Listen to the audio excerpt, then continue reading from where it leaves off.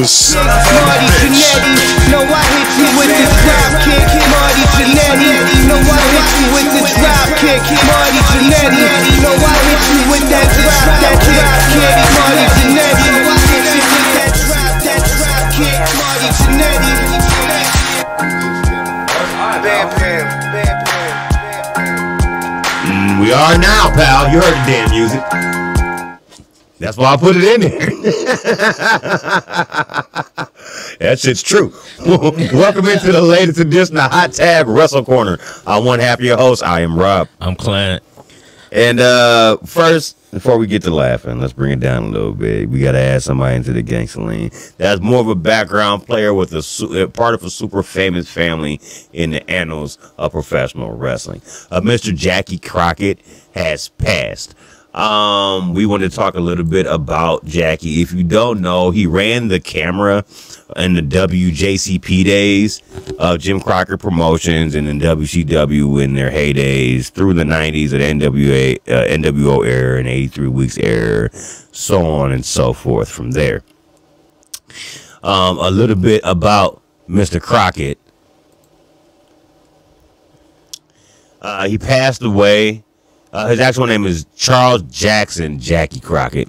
Passed away um, on the 13th, the same night as um, Big Business earlier this week on Wednesday.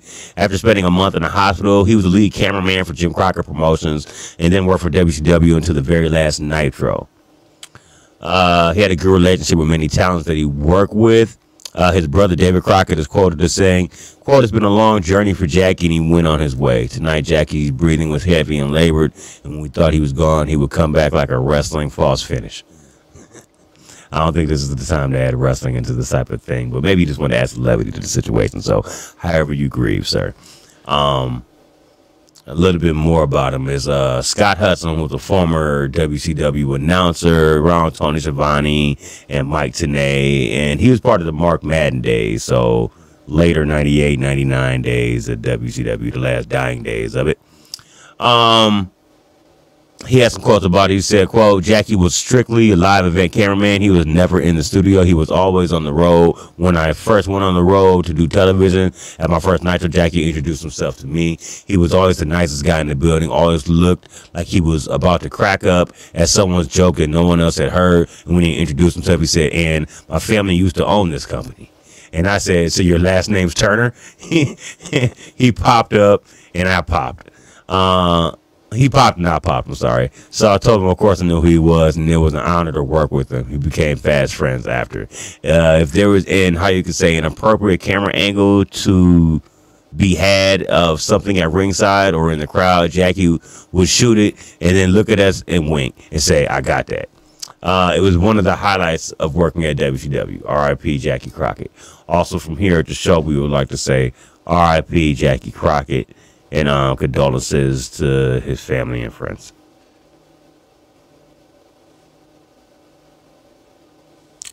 All right, real quick. Now, moving on with our show. Got the sad stuff out the way. No more sad news bears here on the show. Let's jump right into the news. We also have a Mount Rushmore since today is National 316 Day. Uh, we have seven instead of both having four, which would make eight because we both have our number one is going to be the same, obvious for obvious reasons. We'll get into that in a little bit. But our Mount Rushmore is Stone Cold promos this time with play along, just like when we did the worst wrestling songs of all time. So uh, we decided to bring back another reason to tap into the annals of some samples, uh, some Stone Cold. So we'll throw those on for you in a second. Also, um, we got our news this week. We got our TV show reviews this week, and we also got the second episode of Dark Side of the Ring that happened this week. It's the life and times of Buff Bagwell, which I found simply hilarious because he just could not stop getting in his own fucking way. And there are many stories that highlighted that were highlighted in this episode. Um, I have a couple that I want to point out. so I'll take the lead on this one this week when we get there.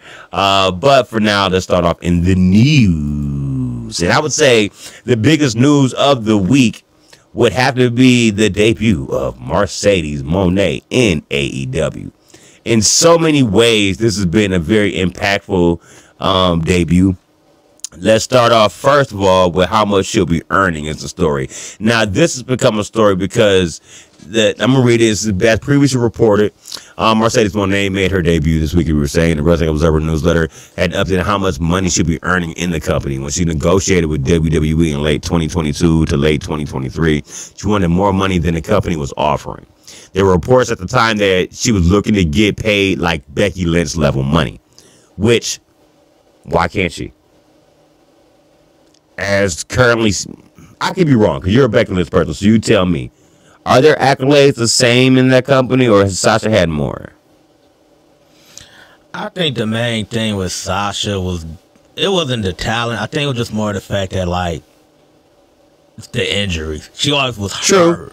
True. I think they probably look like they don't. They didn't want to tie like probably like that much money into like. Which I understand. Like you don't want to tie that much money to somebody who you feel injured. But I mean, but when Sasha Banks is on, she's on. Yeah, very she's true. on. Yeah, you exactly. know. But I, I I understand it though. Uh, so I do. I wish they would have paid. I wish they would have paid Sasha Banks. Banks, but I mean, they didn't, and good for her. Um, you know, I'm happy for her. I like it's- the boss. it's unknown what AEW's offer was, except that it was higher than WWE's. However, it's considerably lower than the five million that has been rumored online. A female star in WWE did note that when she heard it was enough to make Moné the highest paid woman in wrestling, she did say they're happy that AEW made that offer and she accepted, and that meant it, it will mean more for other women's wrestlers. They added, "quote I think it sets the standard that women should be paid too. The women do great numbers. They have huge social followings. It's a huge deal for women in the industry who are paid a lot less than the men are." So she's like, it's kind of like the NFL. She's setting the bar, the bar. for her for her division or her position, I should say. Yeah. So yeah, she she deserves it. also too, I think it also helps out not like other women like WWE, kind of like you go to like I don't know how New Japan and them do it with like How they pay stardom wrestlers and stuff. I'm not exactly sure either. But I mean, I look at it like now, say you got some of that talent that's coming over, you know. Say instance, you got Julia coming over. But that's probably already set in stone, so I'm probably gonna go with probably if you go with you Tommy Hashishista probably. She was at the performance center under uh With Io Scott, with right? Io Scott. So she's one of the best wrestlers over in Japan, you know. So she, you she could command top money, you know. Somebody like her, somebody like Syuri, or you want to go the young route, you can go somebody like Azuni or Starlight Kid. Like they're both like they both ain't even twenty six yet. Julia's twenty six. like, and I was I want to say Sasha like Sasha's 32. 32. Yeah, see, so like that's that's they in the prime. Uh, there wasn't there right now. That's the time to take advantage of it. So, Mhm. and I'm happy for Sasha. She did set the market, and I'm glad that she did set it because it's these wrestlers out here. They main event shows now. They're main event pay per views now. It ain't how it was back when you had Braun Pain matches every week, or you had to scrap to get a five minute match. They like I remember at the WrestleMania they did like an eight woman tag match in like two minutes. Like how do you even do that? do that? Like do that? Like They don't give them no time. so it's like I'm happy that it got better. Props to the women. They deserve it. They bust their ass. And you look at some of the best in the game. You look at Sasha Banks. You look at Julia. You go look at the Rhea Ripley and the big Rhea Ripley another one. Rhea mm-hmm. Ripley on like 25, 26. She know that could come in when her when it's time for her. Oh. She's the perfect person that's gonna look at like, oh, y'all see what they gave Sasha? Yeah, y'all got to give me close to that. Possibly more. more. Like, so she set the market. So she was also interviewed um, um, for some backstage digital exclusive content posted by AEW with Renee Paquette. Uh, she says on her time between WWE and AEW, quote, at first it was just finding a team, finding people that I can get to help me because I felt so lost, so broken, so hurt, and so confused. Not knowing where I fit in in this world, especially in the world of wrestling, gave me so much hope, gave me so many dreams, gave me so much opportunity. I felt very lost and confused and unsure, and it hurt me because of how much work I put in in being in wrestling and in all my dreams and into it and all my dreams into it just felt like it got taken away from me and just kind of came crumbling down. Excuse me. On finding herself, quote, it took a little bit of healing, a lot of healing, but a team to really help me build back up and have my back to let me know I am more than a boss. I am a CEO because I took control of my own life. I walked out with my head held high and I found so many new passions that I never got to discover before. Wrestling has always been one of those and my one and only in my everything. To be 30 back then and now I'm 32, to grow and understand that there's so much more than this. Wrestling is so much more. It's so beautiful. It's more than just the ring, she continued. It's to be discovering a new love, a new foundation, just a new everything. It just felt, it just felt so freeing to grow.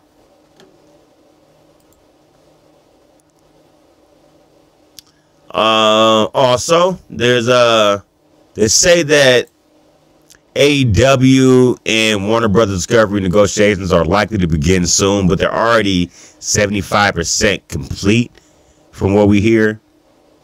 Um,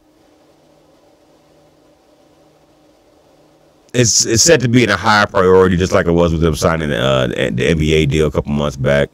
So we'll see where this goes and have updates on that as it moves on.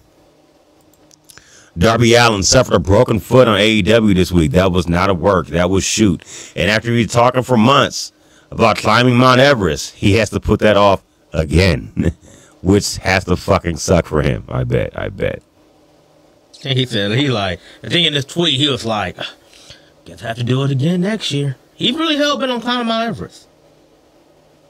Like, uh, by far wild sidetrack. Yeah, that's literally what that's literally what he said. Well, I literally was sidetracked. Uh, wait, no. Hold on. Yeah, there we go. Okay, so what should we start off with?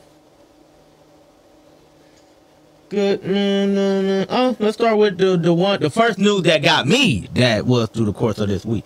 Miro and C.J. Perry, who formerly known as Lana, had split. Their marriage reportedly ended late in 2023. Uh, even though Miro was on social media posting about visiting her in the hospital, she suffered a severe infection that required multiple surgeries, almost cost her her arm. Arm, they was on and off again, and simply for years, simply they, they basically they just drifted apart, basically. Like, that's I mean, he probably was in AEW, uh, being a uh, fear of God. She's getting put through tables by Nia Jax on a constant weekly basis. basis. Uh, Perry, the one that confirmed the split. She also made a statement. She said, Miro and I have made the difficult decision to separate after many wonderful years together and have decided to move on as friends and hopefully on screen characters somewhere down the road. They had yet to officially file for divorce, divorce, but Miro has moved back to uh, Bulgaria and he has been absent from promotion since World's End, where he defeated your boy El Idolo, and when Perry aligned with her husband on screen. So, with his extended absence, his future is unclear. But the company do have performers who live overseas. They do saying they have and travel to events, Well, Ospreay does, Okada still does. leaving the door for him to potentially continue working in uh AEW. So that sucks. Yeah. I tell you something else that sucks. So we talking about sad news bears over here. Angelo Dawkins has revealed that his mom just passed away. Uh, in a post he put on X this week, he said he's still trying to process it, but he's still in disbelief. Rest easy, mom. I love you. Enjoy heaven, fam. Man. So rest in peace to Angelo Dawkins' mom. Unfortunately, here in, in this article, it does not have her actual like name, so we can give her some more love. Um, no, that's safe for the buff stuff. Okay, uh, I got a couple I can get into. Go ahead. Uh, Matt Hardy still hasn't reached a deal with AEW, and he has himself has said he has no plan of retiring anytime soon. Now, do this possibly stem from the fact that he has been on his radio show? He has been critical of how AEW has been booking him and his brother. His frustration about how he's been utilized. Uh, the whole thing with Jeff. Uh, concussion was it concussion? I think concussion. No, broken nose. Mm-hmm. Broken nose. So I don't know there, Matt. I don't know if I agree.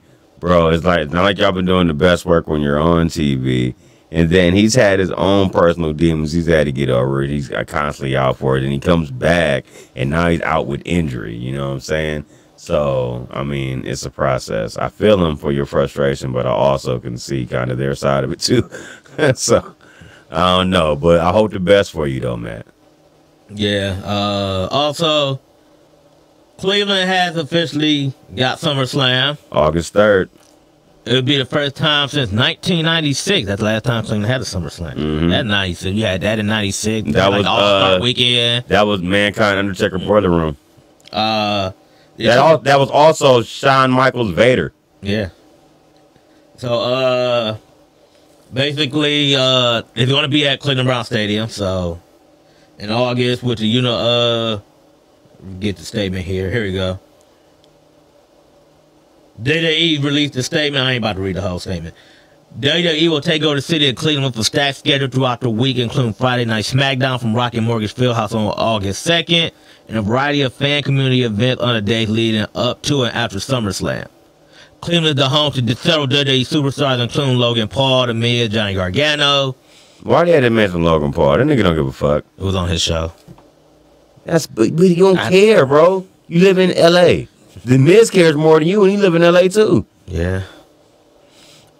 Johnny Gargano cares more, just as more as you do. He don't live here either, but he seems to care more than both of them. But anyway, The city of Cleveland has a rich. The city of Cleveland WWE have a rich history that spans decades. This is said about Triple H. We are excited to bring SummerSlam, SmackDown, and full slate events to a town in a partnership with Haslam Sports Group and the Greater Cleveland Sports Commission. Commission. He talks about how it further strengthened Cleveland's growing reputation as a premier city uh, to host major events in the U.S. That was said by Dan Gilbert. Uh, this will be the largest event ever hosted in Ohio, and it'll bring economic impact to the community and it highlights Cleveland's vibrant downtown experiences and exciting attractions. Attractions. So so that just mean like as far as the amount of people are gonna be at it, right? mm, I'm like, we've had we've won championships. I think those are bigger than a SummerSlam. Now I didn't have as many people that per game though, so that's where I'm thinking like maybe they just mean the. I think they capita. talking about like actual like event, like Right. like paying event. I think what they. Speaking of Big Four, speaking of Big Four, Minnesota submits their bid to host WrestleMania 41 next year.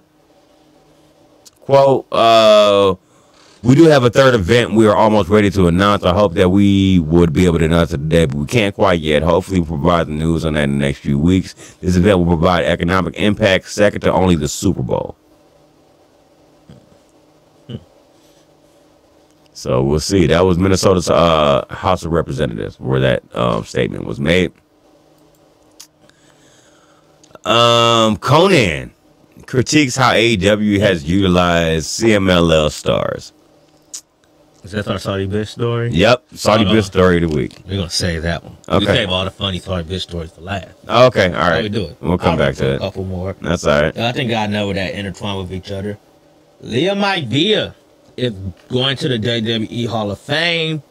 Her name is being thrown around as an inductee into the 2024 Hall of Fame. According to Dave Meltzer, she will be joining the class, which includes Paul Heyman, the U.S. Express, Bull Nakano, Muhammad Ali, and Thunderbolt Patterson. Patterson, she was a famous promoter who took over Polynesian Pro Wrestling in 1982. She is the wife of Peter Maivia, the grandfather to Dwayne The Rock Johnson. She passed away in 2008 at the age of 77. Well, you took my other one I was gonna say. They put it in there with the story. I It's all right because I got one that wasn't in there. Did you have Muhammad Ali on there? Because he's also being inducted. Yes, they mentioned Muhammad Ali. Okay, gotcha. All right, well then I'll skip this. Uh, North story. Uh, Shayna Baszler is going to be allowed to uh, to work GC Josh Barnett GCW Bloodsport X show. Uh, which will happen during WrestleMania weekend in Philadelphia. Uh, he has made a decision to allow her to work the event along with WWE talent working in the event duty and other he has reportedly made a decision to allow her to work the event along with other WWE talent working in the event dates. Dates. Uh, apparently, the uh, he has a different view of WWE talent working indie shows than Vince did. Again, certain indie shows ain't you ain't gonna be doing no wrestling candles like nothing like that. But like At least he let him like go out and do other indie shows though. But you should, cause you got a lot of that came from the indies. So looking You know that. only. You know Moxie probably gonna be there. He's there Yeah, but I bet you she goes over in that match. He ain't gonna allow the people to use the time for him to go lose. I don't know who she's facing in the match. Mm-hmm. Let's see. Uh, down to my last couple stories here. I only got two left. Um, so first being Will Ospreay said WWE is not for me. AEW made a better offer. Uh, in an interview he had on Talk Is Jericho earlier this week, he was quoted as saying where he wanted to be. Quote, man, the thing was, I wanted to be in the UK. I know I'm not going to be exactly comfortable moving to another country. I moved to Japan in 2019, and as much as I loved it, it wasn't home. I entered a new relationship with my new missus who wrestles under the name Alex Windsor. Uh, I have a stepson now, and uh, she just started school. Uh, I know, well, if you know her story and everything she's been through, the UK scene kind of knows it, but she lost her husband and having to pick herself up after that and having to be a mom, a single mom, uh, to losing her husband. It's going to have to take a toll on you, and she needs to be around family and friends in that tight social circle. I couldn't bear the thought of moving her away from all of that and having her on her own once again. For me, the main priority was to stay in the UK. Also wanting to be also wanting wanting to up the wrestling because I have done everything in New Japan. I completed it. Uh, the viable option was I was happy.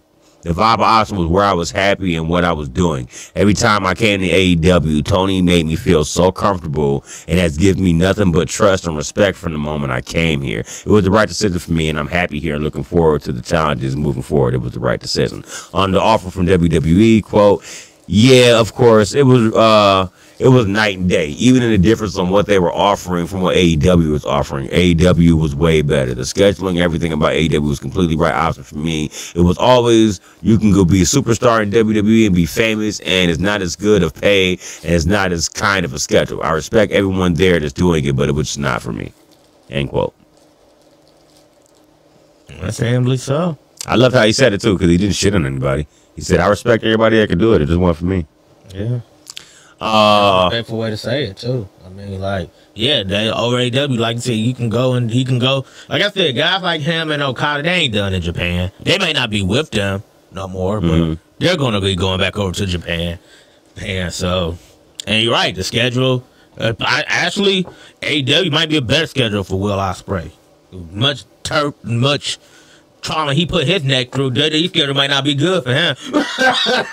for him. um, Tony Khan teases a return for Britt Baker. DMD. About time. I miss Britt. She was one of your four pillars. Yes, she is. so uh, during South by South uh, South by Southwest 2024, disrupting the long monopolized pro wrestling industry, AEW President and CEO Tony Khan teased that Dr. Britt Baker might be making her return soon. He said the following to Fightful quote, she was out injured for a while and now she's out and about. She could be coming back soon. You never know when she could return. One of those things we have to we have up on our we have up our sleeves and it's always fun we can do those. Um, Britt Baker and Daniel um, Brian Danielson took part in Monday's panel. Dr. Baker has been out of action since September 2023 due to injury. More on this from her own words. Uh, she can't wait to get back into the ring. Uh, she was saying on this panel, the former AEW Women's Champion hasn't wrestled, as I said, since September 2023, when she lost to Kris Statlander in a, a, uh, AEW TBS title bout. Quote, yeah, I do. Just growing as a wrestler and performer and learning what works and what doesn't work. With all the new talent coming in and new talent I get to work with and new coaches and new people coming over from WWE, new brains and minds we get to pick. You're really doing yourself a huge disservice if you're not constantly asking everybody around you for help. And helping AEW is growing and growing. For me personally, I can't wait to get back in the ring, have a mic in my hand and cut some promos. Stay tuned. I need you and Skill on to get back together and do something. First person you gotta see is your best friend Tony. Do you do you got any more news? I only got one more story left. Yeah, I got uh two more. Uh, Go ahead, do yours, and then we'll get to the one. code.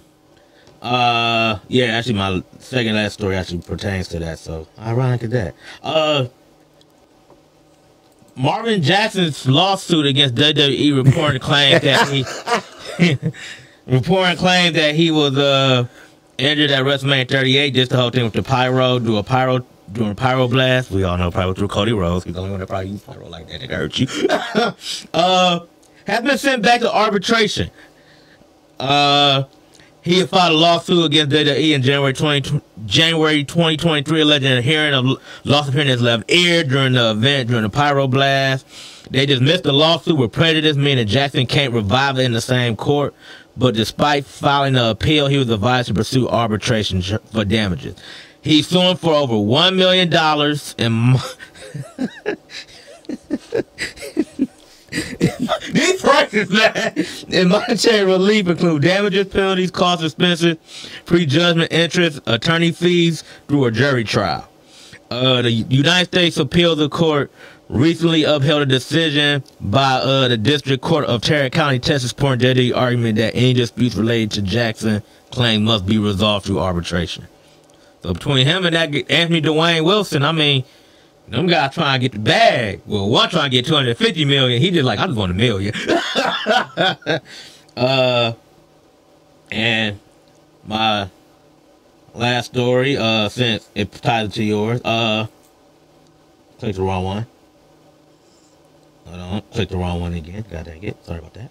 Uh, Tony Khan has met with Stardom president, and he's expecting Stardom and CMLL to be part of Forbidden Door. Door. Uh, they both will be part of Forbidden Door this year. It's a joint show with AEW and New Japan.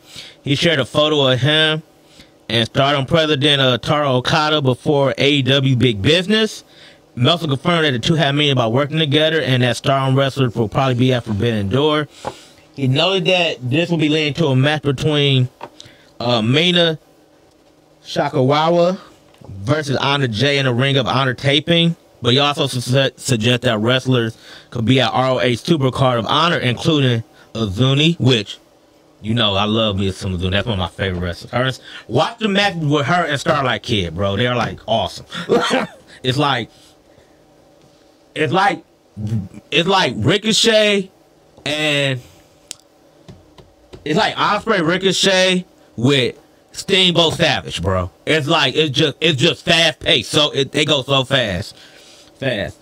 Uh, he also suggests that uh his tweet about Rafi uh, Ogawa basically was just him showing loyalty to the promotion and to the new leadership. Leadership. Uh, so that's my last news story. All right. Until we get into the dark side. Bring That- them out after. That's that's it's it's oh it's coming quickly.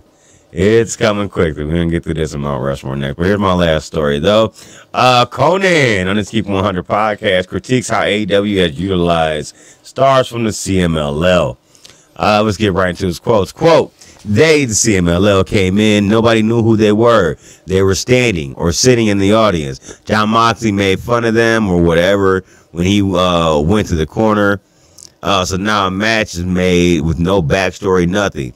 Then they have two matches and their uh, BCC already are wrestling FTR. Two matches that meant nothing, did nothing for anybody, right? Really nothing. Uh, then they bring this kid in, Atlantis Jr. Nobody knows who the fuck it is. No, you just mad because all your people lost their matches. Actually, not all of them did Místico one last week. Okay. So that's one I could think Well, of. and I feel them on none of them having story build, but some of them came in and had great matches. Hechicero made a motherfucking spectacle of himself. And I'm not saying in a bad way, I'm saying in a wonderful way in this match against Danielson. Um, for example. I could kind of feel where he's coming from, but at the same time, I look at it as as AEW is the higher of the two companies, and they're trying to give y'all some exposure. Did you expect like all this build and it was going for two months and be this feud that was going to end on the pay per view? Because if you Right. did, I think you were extremely delusional on where this is supposed to be going, bro. like, what the fuck were you thinking? Like, come on, man. They had their own. like some they, they- angle. yeah, like they All exactly. Oh, you guys just come in here, they just run through A all your AEW. Right, like, bruh, like, they got their- match. They got their own stuff on their dockets they're gonna worry about first, let alone trying to get your guys tied in on the show. So like I would say be grateful and shut the fuck up. Hey, I feel you. Was WWE doing this for you? And if they did, they got shat on even worse over there. So I don't know. Especially under Vince, 'cause you know Vince don't like Vince would just throw him all on 12-5 live.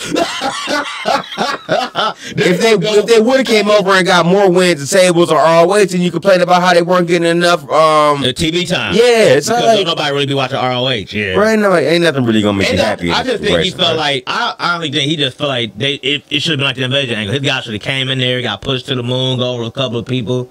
But they put on great matches. I mean, they put on great matches. I mean, I don't know build you expect to go into it. Not to Yeah, mention, you also have a language barrier that's also going to help with that because the cats can't speak English, so that's not going to help here in America either. If you had a mouthpiece for him, I guess, but you gonna have Alex Abrahantes uh, announcer for a whole crew of cats from CMLL. That mother, that guy, that guy be all over the goddamn place. I'm just saying though. he be all over the. I know he be Uh, all over the place though. I'm just saying though. I, I- I would assume it would be I Alex Abrahantes. I'm assuming he would be the Gotta one. I Yeah. him like like anytime, times anytime, anytime it's Komander, Penta, Rey Fénix. he there. What's the common denominator? Spanish wrestler. Yeah, we see him like eighty. Yeah, we see him a lot. just, just being real on that one. All right, so today's date in the year of our Lord 2024 is National Stone Cold Day because the date is 316. You can get permission to drink all the beer you want. I'm gonna go give me a fat ass can of beer when I get out of here. Uh, just for him, like, oh yeah. Um, Clapping together.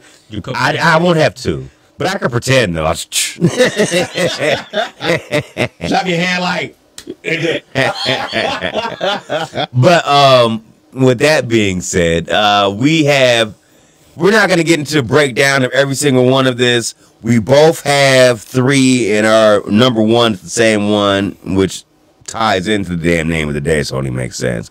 Um, and we're just gonna play them because we're a little short on time, so the custom time instead of giving the background of every single one, we're just gonna get into them, you the name of them, and then play them. Quick, yeah, just quick one. I just want Quick line synopsis for them. I But go ahead. basically my promo is basically like you got the obvious ones that you think of, but these ones that I just love, they like ain't don't they like kind of like under the cover, like like you don't really what's the name much of them. And of course, one of them, I mean, it's once you hear the promo, you know why it's there, why it's there. So that's it.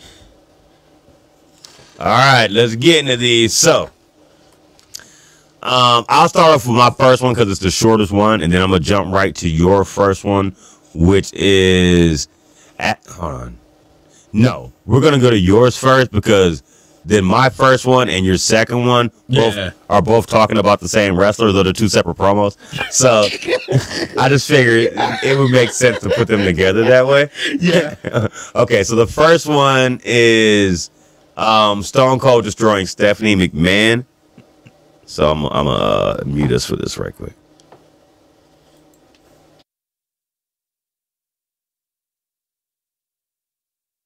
Miracles. Triple H and I are trying to have a baby. A miracle is a fact, and I don't give you a stone cold stunner right here, right now. For being so full of crap. Hey, I got some apologies I want to make too. What I am sorry about is the fact that I didn't scoop that car up again and drop that some bitch as many times as it took to get the job done. I'm sorry right now. I gotta smell your stinking breath, and you should be out at the funeral home picking up a casket. I know that some bitch is in a hospital bed and the TV right there in front of him. So Hunter, Stone Cold, accept your apology. You flap your gums about having a baby with Triple H. I regret the day that comes around and I drive up to the hospital to offer my condolences and look at that little incubator thing, look down there and see a 15 pound nose so full of manure they can't keep enough diapers on the little bastard. I nearly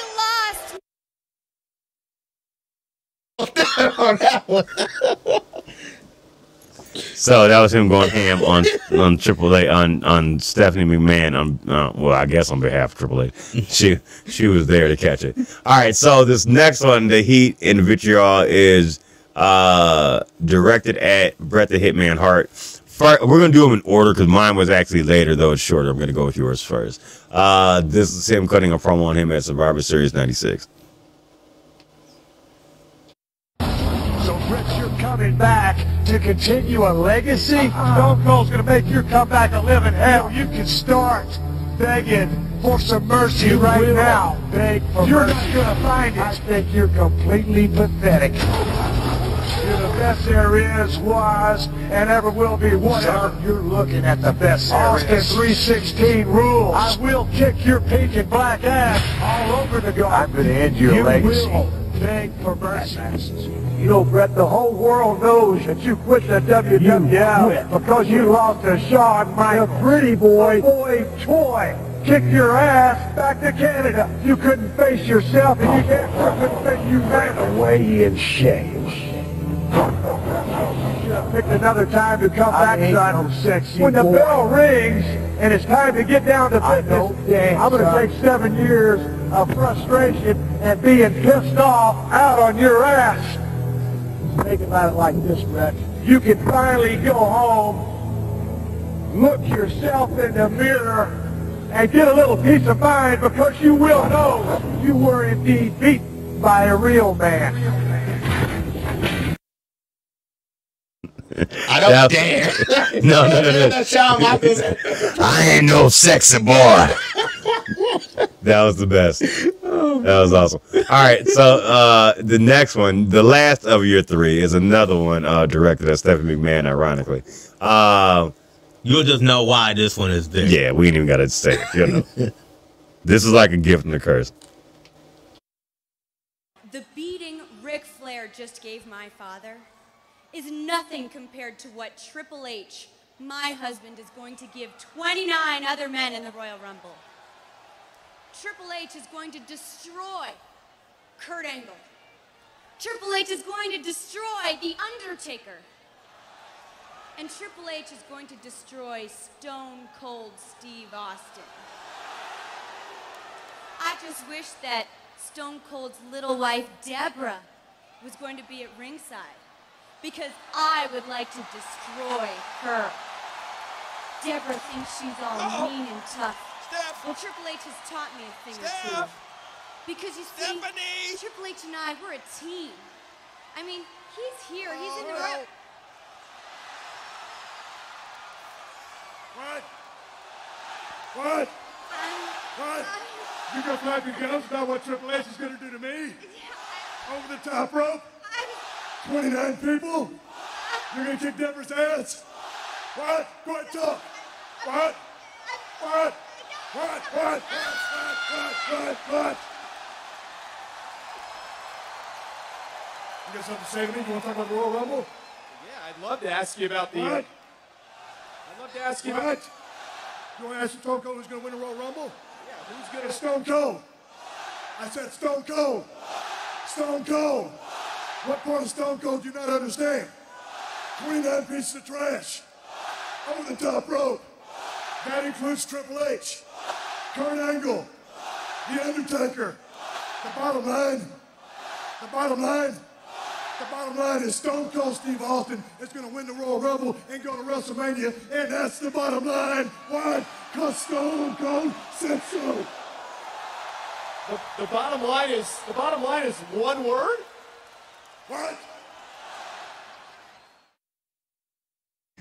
That was a good one. We were clowning while it was going on. Stephanie's crimped hair, that was from 92, though this is 2002, and her ultra revealing top because she just got those boobies. So I thought that was pretty funny. Uh, That was pretty funny. Nice time, nice time capsule there. Okay, so that was Flint's first three. Like we said, his number one is the same as mine. We'll get there in a second, and we'll, you'll understand why we saved that for number one in a minute. Now let's get into some of mine. So I was supposed to do my Hitman a second ago, but we, I just did all of yours first. So let me do my Hitman right quick because it's it's short. If you put the letter S in front of Hitman, you've had my exact opinion of Bret Hart. Mm, see, short and sweet. Shit, man. Next is going to be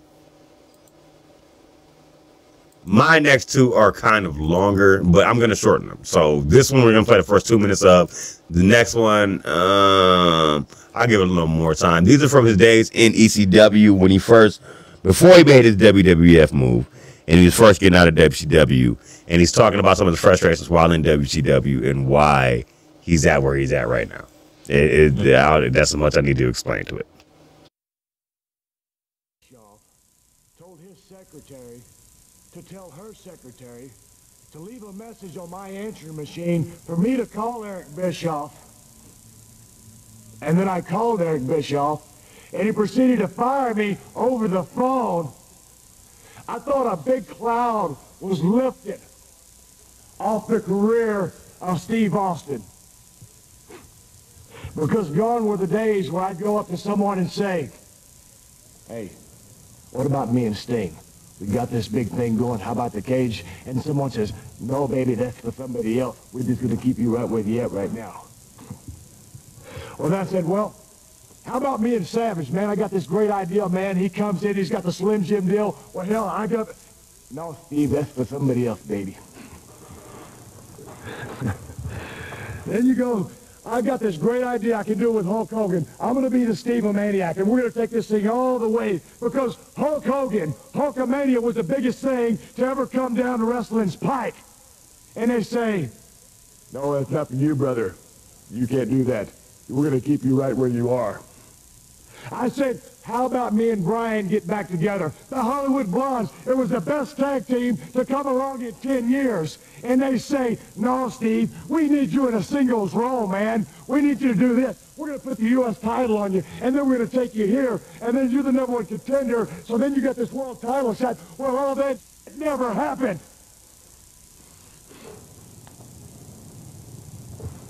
So there I am, floundering along. There's nothing going my way because the politics in WCW kept the biggest potential superstar in wrestling on the damn ground. What are you supposed to do? On one hand, they're paying you a bunch of money. They're paying me a bunch of money. Well, on this hand, they're telling me, hey, Go out there and give Bagwell a hell of a match. Go out there with an 18-year-old German kid. Give him seven good minutes. Let the people see what he can do. They say you are what you eat. In WCW, they didn't feed me nothing but garbage. So I let myself become garbage. I became complacent with everything that they said. As long as Big Ted kept sending in the checks, Maybe I wasn't happy with what was going on, but I became complacent. Then they send me to Japan the big injury. Bischoff delivers a shot heard around the damn world. Steve Austin's out of the high-paying job. We'll play the whole damn thing if I don't stop it there, so I'm gonna leave it there. um, it's a great one to look into. It's a uh, superstar Steve Austin promo. If you want to hear the whole thing, it's like seven and a half minutes long. We just played the first three. All right, and then uh, my next one is of what Steve's second best ECW promo of what he thinks of Monday Night Nitro. and welcome to Beulah's Box. This week, my box is going to get an up close and personal feel for something that's Hold on, I gotta acknowledge that. I had to stop it. Do you realize her talk her talk show's name is Beulah is Beulah's Box? her talk show's name is Beulah's Pussy, basically. And that's how she's promoting the shit. You guys can't see that. You already hear in the audio. She's at a table, sitting down with her foot up, just giving you damn near a crotch shot, and she says, "Welcome to Beulah's Box." this is nuts. Okay, there we go. Hi, I'm Beulah, and welcome to Beulah's Box. This week, my box is going to get an up close and personal feel for something that's a big stick of dynamite. TNT.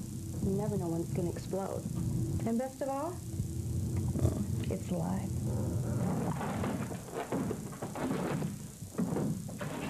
Hello, everybody, and welcome to Monday Night Wall, where the big boys play with each other. I apologize for the balloon, I had to fire the pyrotechnician guy because he couldn't show up. I did it over the phone, no less, but I had to fire him. Okay, right here, where the big boys play with each other, on my right, as of always, Mongo. Mongo, how you doing? Okay, now the brain couldn't be here tonight. Head over here to where the brain's supposed to be. Brain couldn't be here, so I had my secretary leave a message on his answer machine, and when he calls me, I'm gonna fire him on the phone just like I did Austin because that's the way I deal with people. I'm not a very brave man, and that's the bottom line. Okay, big show tonight. Like I said, if you're watching another channel, get over here. If you're thinking about watching another wrestling promotion, don't do it because this is the only one that's live. Okay, big main event tonight. Never before seen on TV. The most dangerous match in the world. And you're going to see it right here on Monday Night Quill. Oh, yeah. Yes, right here on Monday Nyquil. Bottle of Geritol on a pole match. First time ever in the world. You're going to see all the old codgers here in our organization, and they're going to be scrapping around and using their walkers, trying to keep the dentures in, and they're going for it because this is the hottest show on TV. Brother, this is the bottom line. We're number one. Did I repeat that I already fired the brain over the phone? Oh, yeah. This is where the big boys play with each other. Oh, yeah. Did I tell you that we're number one? Okay. I'm going to go. Uh, okay. The cameraman's telling me we got to go to a break. I'm going to tell you right now. I don't know the names of any of the holds, but I'm going to sit here and bubble around and bubble around. And if I put you to sleep, if I don't put you to sleep, the matches probably will. So bear with us. This is Monday Nyquil, and we're live. I told you it was classic. that was a good. That was a good impression of uh, Uncle Eric, Uncle Salty Bitch. that was pretty fucking funny.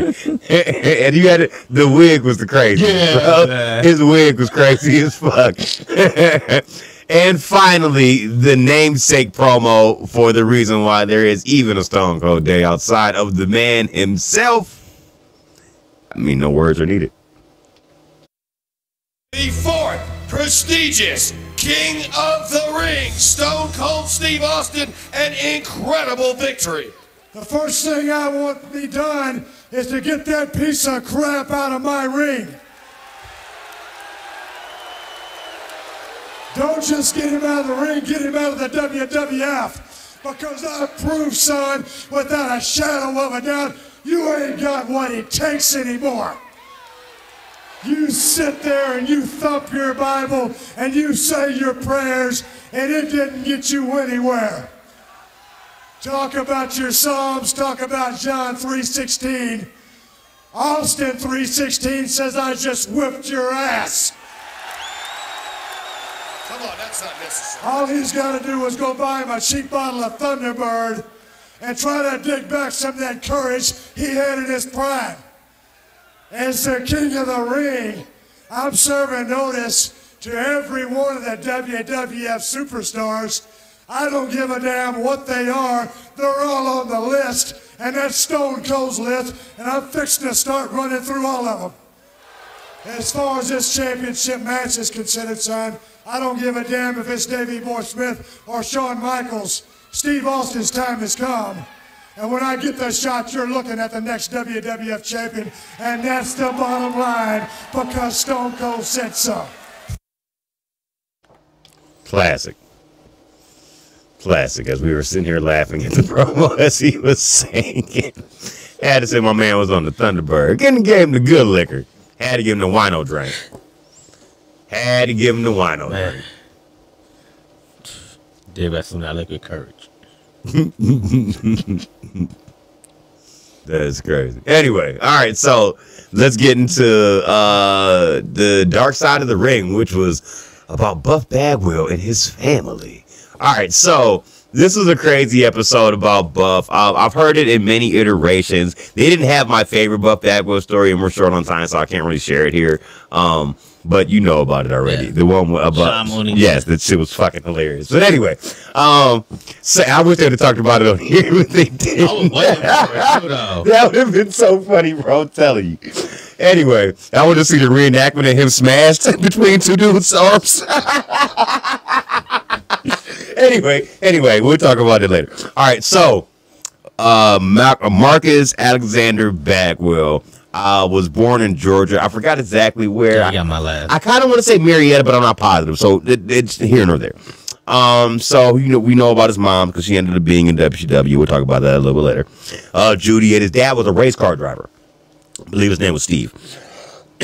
Now they were a rich family at first. They had the had race car money. 15. He bought him a Corvette at 15. He said he wanted to buy him all the stuff Yeah. that he always wanted, but at the same time, he said they would still whoop their ass though. They didn't want him. To, Mm-hmm. he said live privileged, but don't feel privileged. Like don't feel like this can't happen to you. You know what I'm saying? Type of deal. Humble yourself. Yeah, exactly. His father was crazy. His mom ran a lumber yard. Everybody in the town bought lumber for him.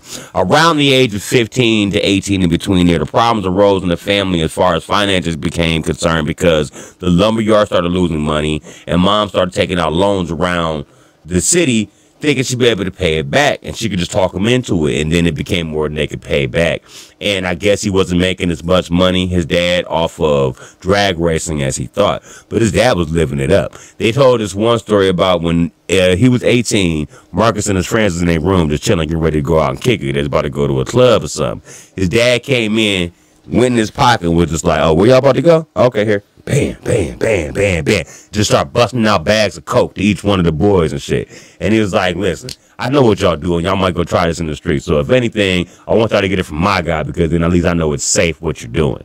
So I don't know if you want to say dad was super cool. If dad, uh, dad was helping contribute to a problem that was going to arise later in life majorly.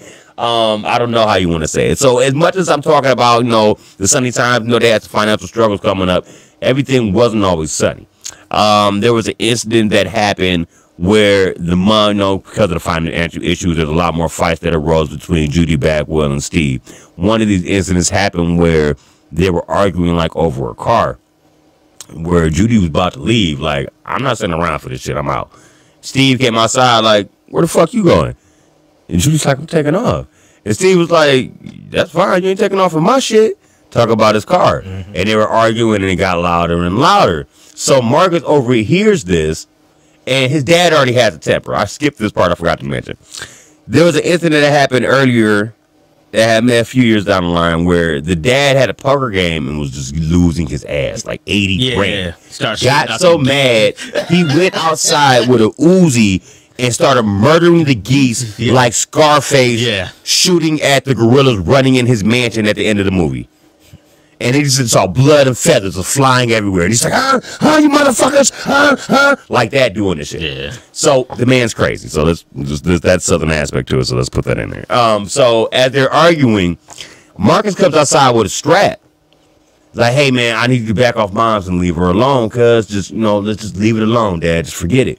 And um He was a mama boy. He Pops was like, Oh, for real, cuz? Oh, you got a strap, cuz? oh, you a man now, huh, cuz? Okay. You want to pull out them guns? So he he went. This is how I know some southern shit because how many straps were just randomly around. He went and got his own private strap that he keeps on top of the refrigerator. Just Mar- Marcus knew like he's He going to get there. his strap. He going to get his strap. So they went and confronted him in the kitchen. He before he could fully rise the barrel, Steve rise the barrel with his strap. Marcus, shot shot first. His hand blocked where it would have shot. Almost shot him in his heart. His hand blocked that shot, and he said it grazed the Yeah. bone on his wrist, and they had to take. I think they said uh, Skin graft. skin graft from like maybe his hip or something to fill in this part of the bone. Um, If he ain't put his hand right there, he would have literally killed his they said he dumped six other shots that were just whizzing by him that missed. Yeah. The first one hit. Yeah. His father did call him after a couple weeks later. He took all the blame for it and apologized to Marcus. So they're still cool to this day. The father is still alive. He was part of the dark side. So that was just some of the interesting stories that made him. But from these um, incidents and things like this, they didn't have any money coming in like they had before when he grew up rich and stuff. Because he had some other brothers, but he was the most famous of the brothers. He played a lot of sports and stuff in high school. He was always looked at as like a pretty boy and stuff. So first he starts stripping when he gets out of high school. I guess that wasn't enough money, but then also where he like like kind of like met like his high school sweetheart, his Yeah, first wife. I believe her name was Tanya. I believe, I'm not positive off the top of my head. So um Tanya starts dancing too. Because he decides he's going to get into wrestling. In order for her to pay for wrestling school in his first early She times in wrestling, yeah. she danced, though she hated it, to help support him and, put the- him through. And the deal was that soon as he gets signed his first contract, he basically like Would- gotta take care of her. yeah, basically. yeah, pay, return the favor, Yeah. basically. And then I think they said he started like he met up with Missy Hyatt or whatever. Yeah, he, his, Oh his car broke down or something. Oh, we wow. Yeah, I like, Yeah, no. What? I was, I was I'm like, oh my god, between you and Terri Runnels, like, oh, You what her? happened? Uh, Hell no. she she did get very leathered, but at least she she didn't have enough work done where she doesn't look like who she was before. I can still tell it was Missy Hyatt. Yeah. And she still got money because she was wearing all Gucci on that episode, yeah. bruh. Oh yeah, she still. Oh yeah. You So know, her cash is You know, good. she still got them them residuals from them old days. She was name. She's one of the first uh yeah, interviewers. Yeah, so- WCW. so, talked about no. how they uh Props to her. I heard she got into the uh, sidebar story. I heard she got into the business by giving a wrestler a blowjob when she was 14 years old. Fucked up story, but true. she said it herself. I forgot the wrestler, so I'm not gonna put anybody on the line. The guy's probably dead by now anyway. It was an 80s wrestler, but um, yeah.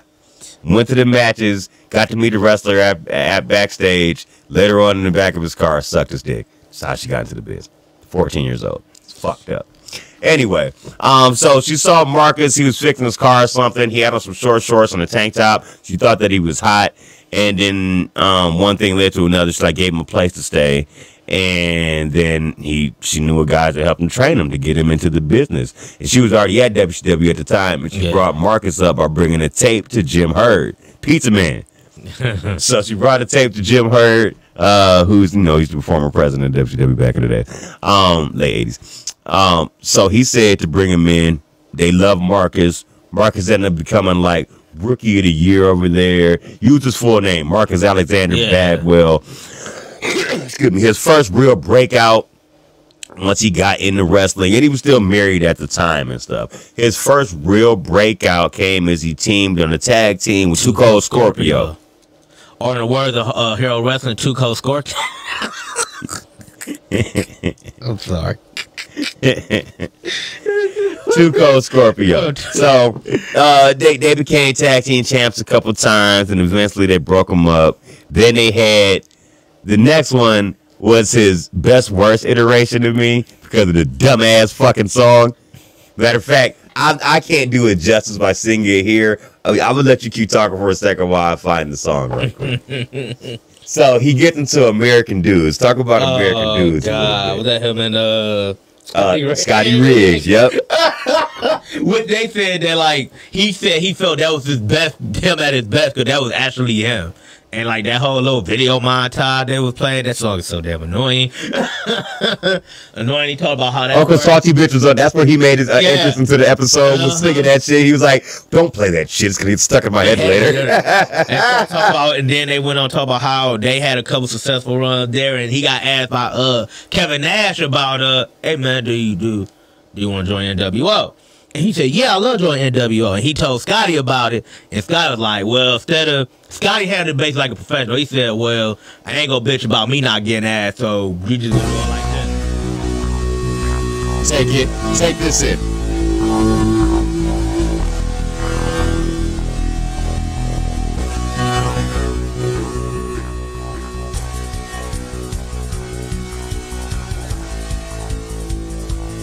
You gotta get into this shit.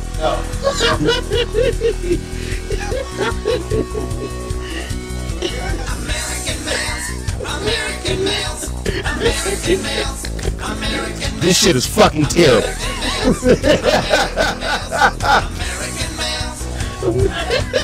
When you say that I'm coming, better run for cover. Girls, you don't need a weekend lover. Uh, American man. He sounds as bad as me when Fairbanks laughed at me for, for doing Macho Man jumping on the beat. Oh, That's probably where Mosh got it from, probably. oh. oh, I fucking love it. Anyway, anyway, I'm sorry. He said that uh, he got asked by Kevin Nash to join NWO, and he told Scotty Riggs about it. And Scotty said he Scotty it like a professional. He said, "Well, we just do it like this. We get in the ring, you know. You what's her name?" And then he just gave him the net break, and that's when he turned up. And then they said when he went NWO, oh my god, That's when it went from zero to one hundred with Buff, basically, because the ego took over. The best, it was one of the funniest parts to me is when they showed the guy in the reenactment segments doing the Buff with the hat, like the dance or the walk, the strut. That shit was funny as fuck. I was laughing when that happened. I think I think uh Tugo Scorpio said it best. He like you had Marcus, and Marcus was a real cool dude, man. He could talk to. He like Buff. Buff was just an arrogant asshole who I wanted to punch in the face. in the face. They talked about did they get to a match uh, against Rick Steiner where uh He ends up, uh, well, he thought he broke his Thought neck. broke his It, it ended up being a severe bruise to his spine. Um, so what happened was, uh, Rick, uh, went for the bulldog off the top rope. He slipped off his head. So when Marcus landed, he landed, Rick landed first and Marcus's head Yeah. landed into his shoulder and then went back yeah. which caused him to feel like he was paralyzed. So what actually happened was that the bruise caused swelling around the neck, which causes your body to feel like it's paralyzed. Once the swelling goes down, you get up. Like that's that guy they explained it on the show. They were like, Yeah. The doctor came into the room and was like, "Get up." He was like, "What?" He was like, "Get up." So he was like, he leaned forward and he was like. I feel, what happened? And He was like, well, and he explained exactly what I just said about just, you know, just Yeah. swelling around the neck and stuff like that. So they sold it as an angle. They said he was off TV for like three months. His mother was helping him back to the ring. This ended up getting Judy involved, you know what I'm saying, in the wrestling side of stuff too, eventually here and things of that nature. with a can with a cannon, I think, who's supposedly Kanyon was the feud, yep, Yeah. where they had Judy Bagwell on a pole match, and she was basically on a forklift, not a pole. Um, also, you had um, this is where Bus first marriage broke up, also because all the women that came along with it, he started living the gimmick, and that's really I think what changed his life is Yeah. that starting to live the gimmick was starting to was running his body down eventually. Ric Flair did the same thing. Ric Flair said he said out the nature boy. He like I lived it like every every day. You know what I'm saying? That's why he has four or five wives and all those kids, you know. But anyway, um, so Buff loses his first marriage this way. Um, but you know, he, you know, he's doing NWO stuff. He's doing all right. Uh, ends up being while the neck injury is still going on, he ends up being uh, Scott Steiner's manager Yeah. in NWO. Things of that nature. Eventually, things move on where we know WCW gets bought out by WWE. He comes in, and on that first one, they have that match in the main event between him and Booker T that they thought was such a shitty match. He never thought it was such a shitty match. He was just like, it's just a match. Like, I ain't think it was that botchy, but everybody else seems to shit on the match. Um, and then from there led to his downfall in the company because then they stopped booking him. He, uh, He said, I think he said they had something to where they're going to put the title on him, and they told him, "Go ahead, go ahead, we'll call you back." And then they said they fired him like a week later. They said his mom tried to call in for him to figure out what was going on. She was trying to handle his business, and him being a man, him handling his own business was part of the problem. Another thing that happened, and this is important to tell, I don't want to skip over this, because I actually have words from the man. So apparently, this part that I'm about to talk about is disputed by the other person that was involved in this segment. I have his what I have. Shane, oh, you got it? Cause I got it too. I'm gonna let you. I'm gonna let you read it since you got it. So apparently, he had a fight with Shane Helms where he was supposed to come in and do some in ring work, but he came in late. And he said Shane Helms was talking shit to him at first when he came in. He's like, "Look at you, buff the stuff, coming in late like ain't nobody else important but himself." And Buff said, "Look." Like, listen, bro, like, I ain't trying to have no issue. We can handle this one or two ways. We could drop it right now and just continue to work, you know what I'm saying? Or I can smack your teeth out your mouth. He said before he could say option two or whatever he's gonna say out his mouth, he said he had what he called was the pat in his back wheel slap. Yeah. That his daddy taught him that's a slap where you basically take you slap somebody so fucking hard that you take authority of the situation. Like they they wondering like, hold the fuck on what I just step into type of deal. So he said that's what he did. And you know, Shane is a cruiserweight, so he was smaller than Buff, so he smacked him to the ground. Well, apparently Buff didn't know that Shane had a ice cold, I mean, fully iced over bottle of water, cracked him on the back of his head with it in the ring. Said he was instantly busted open from the back, blood was everywhere. He said he went and got his own staples in his head, didn't tell anybody. So during that match with Booker T that night, he had 25 staples in his head that he had to take a black marker to over each staple so nobody could see him during the match. Now, let's get to Shane Helms, the other man involved in the situation, and get his side of the story. Well, Shane Helms uh, said that his story about him wasn't true. Uh, he said that it started from uh, I think he said about the thing about uh, it started. He said that Bagwell confronted him at a training section where Helms basically called him a drug addict. Addict. Bagwell said he slapped him and turned to leave Helms sent him with a frozen water bottle, which required him to work his debut with 24 staples in his head. He said he released following the infamous bad match with Booker T. He said with data he changed their plans into the invasion angle. He said he was released because he was blamed for hitting Helms first, something that he Helms denied in the serial post on social media after being tagged by a fan.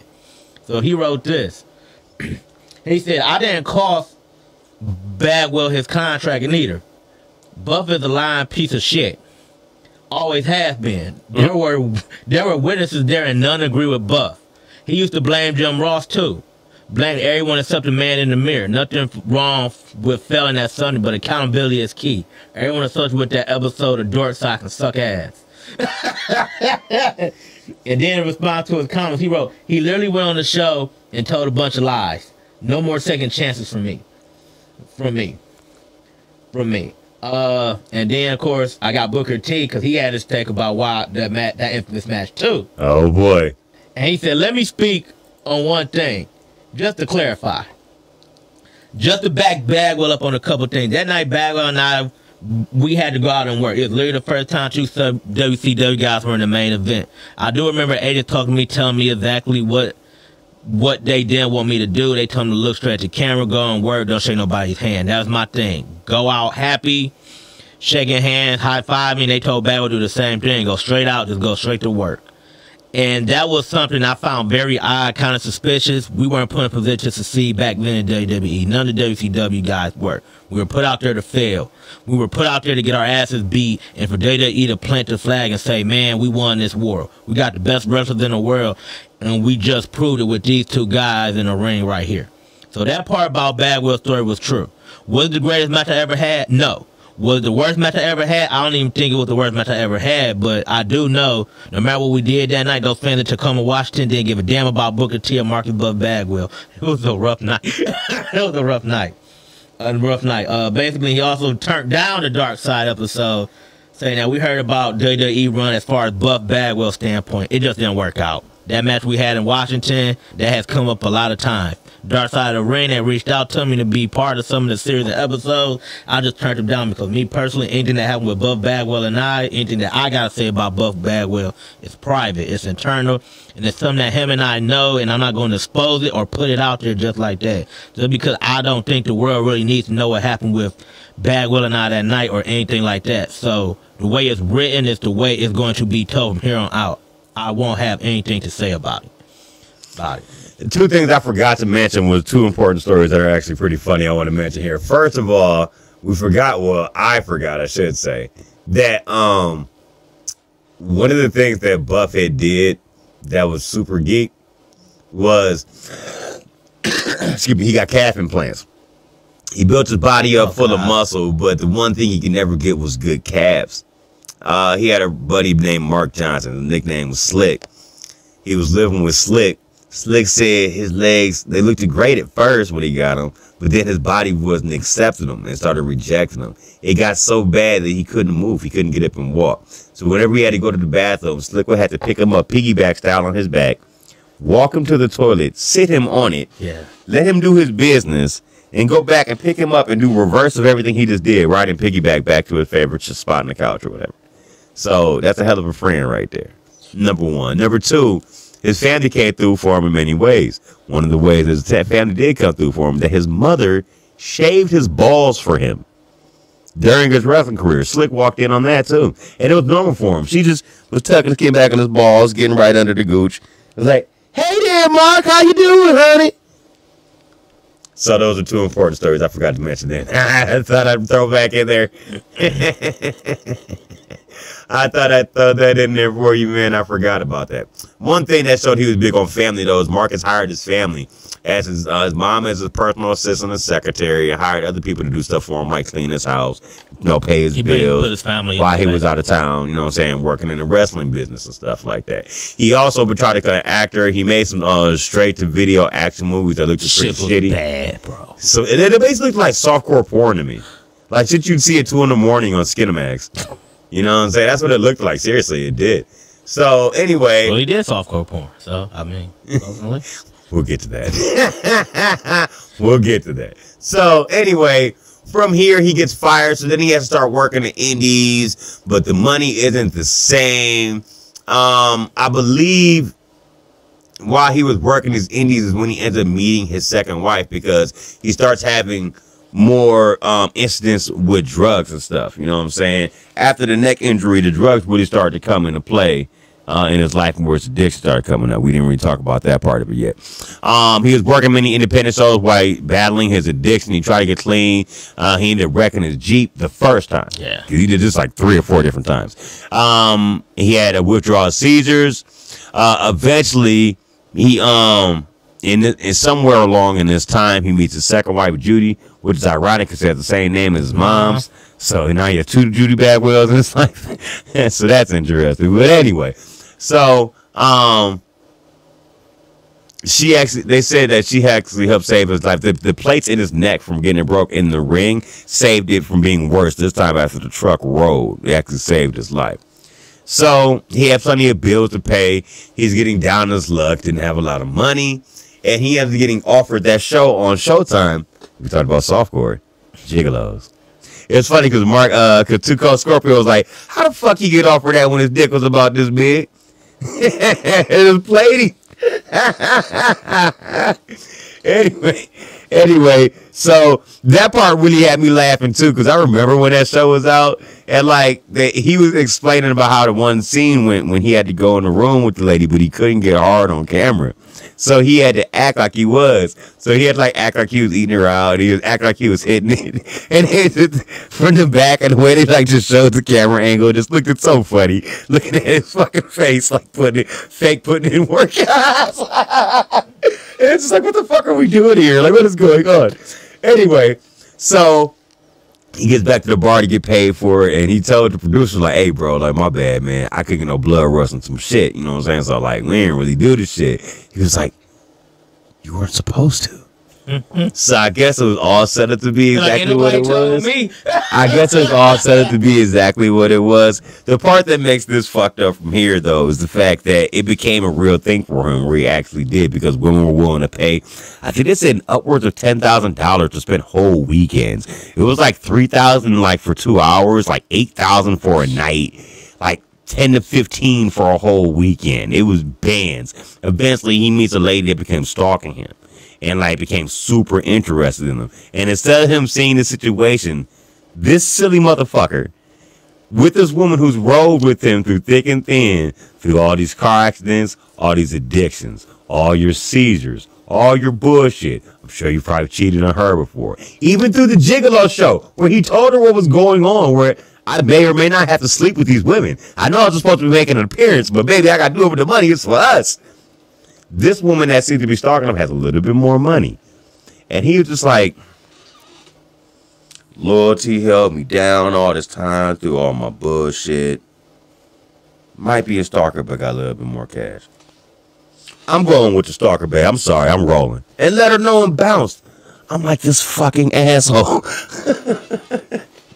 bounced on his wife. So that's Bye Bye Judy Bagwell number two. Uh, also through this time, eventually he gets uh he was on the website when he meets this lady named Cowboys for Angels. That's what it was Oh, called. yeah. All right. So from there, his life gets worse with addiction and things like that. His mom ends up dying. So we lose the original Judy Bagwell. Rest in peace to her. She seemed like a pretty great woman. I mean, she was down for him so much she was shaving his balls. I mean, that's a lot. Man. I don't know if my mom shaved my balls either way, but still, it's some dedication there to your kid. Um, she had dementia, and that was awful. So, um, moving on from there, she also battled Alzheimer's disease. Um, move, Yeah, that's been unfortunately will led to her demise. Yeah. Uh, moving on from there, he eventually it just kept getting worse and worse and worse. The story, the Sean Mooney stuff happened, and eventually he ends up getting hooked up with like DDP yoga that ended up saving his life because his situations with the drugs and stuff he They said his mom death actually is what made him finally. made him finally realize. Try to snap out of it and get your- stuff. you need to get your shit together. So he ends up getting with DDP and getting his shit together. And then during this and you know plotting for this dark side episode we're talking about, he ends up finding about Scotty Riggs, and Scotty Riggs has his own issues. He had just lost his house that he'd been staying in for his mom. So he'd been taking care of her before she had passed. Mom passed. And then he would be living out of his car for like six months. He was on the verge of putting a gun to his own chest and committing suicide himself. He convinced Scotty to come up there with him in Georgia and get with DDP to try to help save his life. And it showed that they are both doing good now, you know, trying to just hang in there, you know what I'm saying? As old friends leaning on each other. Um, Marcus is now have another woman in his life by the end of the episode. again. I think he's married again. I don't know if he got they weren't married. yeah, okay, married so um, he said she helped save his life. I'm not sure of this woman's name, but you know, props to her. Um, and throughout all of this, and him being such a gigantic asshole at many different times, all of these women still had love for him. The first wife, Tanya, Judy, still loved him. Because they loved the man that they, you know, fell in love with, not the monster he became. And at the same time, the one thing I can say that they never really mentioned, I don't know if it's the case, none of them either claimed it either. He wasn't abusive to them. He was more abusive to himself. yeah. And that ended up leading to a lot of his other downfalls. So that's why I said he was like his own worst enemy. But he that's why I was like he wasn't that bad of He a person. he- He, was just like kind of very condescending and He- egotistical, and Yeah. that uh, that helped lead to the downfall too. Yeah. Gimmick basically is what basically Living his gimmick, exactly. gimmick and it Almost cost him his life. from his life. Like that's basically what it was. Like, he he lived the gimmick too hard and but yeah, all the women they still got love for him though. They said they still talk to him and like they they think of that you can tell too when they call him Marcus, it's like that's when it's like okay. They Yeah. call him Buff during the show, they call him, Yep, Mar- him call him Marcus. Marcus. Like, yeah, or Mark. yeah. So that was Dark Side of the Ring, Buff and the Bagwells. Let's get into our TV show reports so we can get out of here. Um, start off with last Saturday with Collision. Uh, last Saturday's Collision opened with Shane Taylor taking on Brian Danielson. Um, Shane Taylor talking a lot of shit to Di- Brian Danielson throughout the match. Remembering his last match he had two years ago with Lee Moriarty, where he felt like he didn't treat him as well as he should have, I guess. Eventually, Dan Bryanson gets the upper hand in this match. Um, good match between the two. Running knee finishes uh, off Shane Taylor 14 minutes even. Post match, Will Ospreay comes out for a chat. Dan Bryanson interrupted his main event last week, so he brought that up. He said, So I figured I'd return the favor. You're one of the reasons that I came here, you cheeky little slag. And I've decided. Dan Bryan basically called him out for saying in your promos, you say you're the best wrestler in the world. I'm here for you to prove it. So it's basically set up a match between the two at AEW Dynasty. So that should be great. We'll see what happens from there. Next up, the Young Bucks um, the new elite with um, the Young Bucks, Marcus and Matthew Jackson. I, I think I just said that wrong. Nicholas and Matthew Jackson. Sorry about that. and Okada taking on a couple jobbers, John Cruz, Liam Gray, and Adrian Alanis. Basically, Okada comes in the ring and it's like, hang back, y'all, I got this. Guess the time in the squash. I'm saying um, it's three on. They had to get some work. I'm saying a minute fifty. Close, off by 13 seconds. Two minutes and three seconds. Oh. Okada did all the work in this one, finished it off with a Rainmaker, literally taking out all three of the men inside of those two minutes. Post match, Eddie Kingston runs in, pissed off about what happened last week, gets beaten down. Uh, Penta El Zero Miedo comes out to try to help him. He also gets taken out too by the numbers game. Cue the returning bastard. PAC is returned um, from a long injury hiatus to come out and help uh, Penta and Eddie has a stare down with Okada. Um, and we'll look to see them uh, in the future. They're gonna have a six man that comes up on Dynamite. That is Penta, PAC, and Eddie versus the new version of the Elite. Uh, next up is Mariah May taking on Trish Adora. This one goes about six minutes. Mariah May finishes off Trish Adora with a Mayday, still dressed as Toni Storm. So that should be interesting what happens there. Post match, uh, Toni Storm comes out and presents her with the first Toni Award, T O N I, so they don't get sued. Uh, it's basically a shoe. that. Uh, Deonna Purrazzo comes down to interrupt everything. Uh, they start scrapping, and then she ends up catching a DDT um, from Mariah May that lays her out, and then she proceeds to put the said shoe on on top of Purrazzo as she's standing on top of her. So that was interesting too. Uh, next up, Nick Wayne takes on Adam Priest. Uh, Patriarchy out here also too. Nick Wayne wins this one with a Wayne's World and a pin victory, three minutes and twelve seconds. Post match, they start to walk out, and some guy in the crowd in a luchador mask tries to grab at Christian. We know who this is. Yeah. Mr. Copeland. Yeah. Mr. Copeland ends up chasing Christian out. I thought this was funny. He chased him out to the parking lot after taking out other members of the patriarchy. He chased him out to the parking lot. Christian just steals a car. He's like, yeah, yeah, I gotta go. He just rats this guy out. And, Yeah. and as he's doing it, he drives off with the belt Yeah. throughout the sunroof. GTA basically. That's he did. He did. Good call. He GTA'd him. That was funny. so I thought that was funny. Um, next up is Wild Slap Nuts on the fucking lose. so Jeff Jarrett says he's not sure if they can trust Mark Briscoe tonight because they're gonna have a Atlanta street fight in the main event. So uh, we'll see where this goes. He said, but they'll all be together for the fight. Next uh, match with Jericho taking on Titan, not Titan, Titan. I guess how they pronounce it. Uh, Mexico match went a little longer than I expected. And Jericho nowadays, well, everybody's normal speed. He's about 0.75, but it was still a decent match, and they gave him the victory. He ends up reversing a springboard Hurricane into the walls for the submission at 11 minutes and 59 seconds. Uh, post match, uh, of Agony running for the beatdown. Hook comes in for the save, setting up a tag match with Jericho and Hook versus the Gates of Agony on Dynamite coming up at Big Business. FTR out next for a chat. Uh, they wanna. They want to talk about what happened at Revolution, them going down, but they want to make sure that they're a part of this new tag team tournament. And uh, so they're going to go after being the first AEW three-time tag team champions. Cue the infantry from ROH with Shawn Dean. Um, they come out and they're uh, talking a lot of shit about, you know, um, they said the tag team division needs a revival. And uh, Harwood steps in and says the revival is dead, and when we meet you in the tournament, you will be too. So we'll see what happens from there. Uh, Místico versus Angelico. You don't see Angelico a lot. Uh, good technical match between the two. CMLL wrestler one here. Hmm. Um, um, Konnan. Anyway, uh, Místico wins this one with a very, uh, with, uh, La Mística finishes off Angelico at 9 minutes, 26 seconds. Uh, next up, the main event, House of Black, taking on Mark Briscoe, Jeff Jarrett, and Jay Lethal in an Atlanta street fight. This match had a little bit of everything, plenty of brawling outside of the ring. It was a very fun match at the same time. Best we get down to the end where Mark Briscoe goes through a flaming table. Uh, I don't think his back was fully burnt. You know what I'm saying? They got him out of the flames quick, got him in the ring, got him pinned out right quick. Um, so uh, you know it went down, but it was a great match. Gave him plenty of time for the match. Also, the heels go over, it, or as they say, the house always wins. 12 minutes 47 seconds, and that was the end of Collision from last Saturday. All right, get to Monday Night Raw. Starts off with uh Drew McIntyre. He basically calls Seth Rollins a junkie, saying because he want to wrestle twice at Mania. He takes a shot at CM Punk, still taking shots at CM Punk. He then He mentions The Rock. He said wrestling has evolved, and we got a chance to work with the biggest star in the world. Basically, kissing his ass. Rollins basically interrupts him. Uh, said, "You want to claymore me again? Take his glass." I said, "Do it right in my face while I'm right here."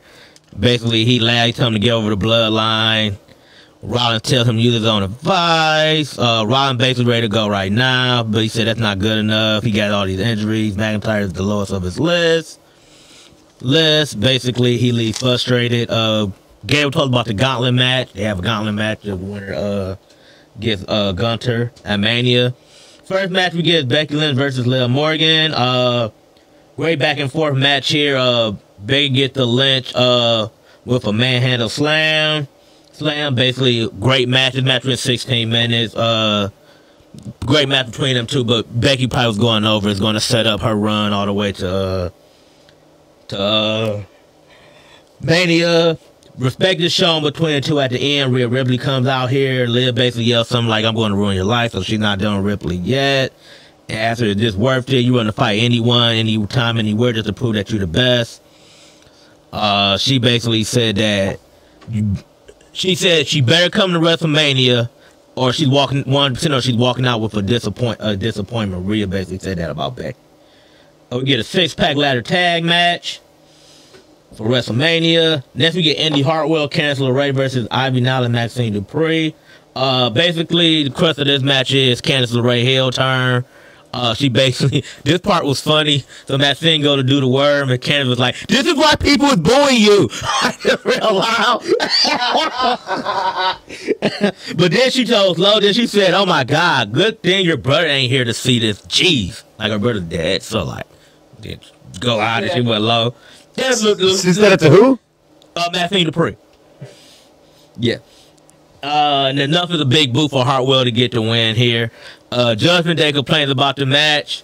Basically, uh, they it seemed like that R Truth and Miz is behind it. They're supposed to be off of media, but R Truth comes in because apparently he realized it's Monday. You're a prize. Damian Priest tonight.